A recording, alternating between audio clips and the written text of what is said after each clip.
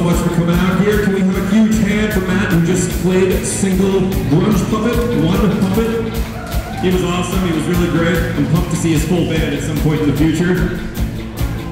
We are Corduroy Chicago, going to be bringing you some of Pearl Jam's greatest hits.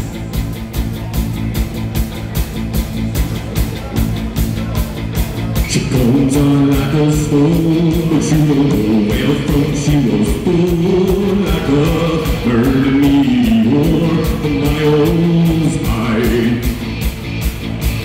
Looking for a place to land, she said, have you got yourself sand and whatever you and I, she took theirs,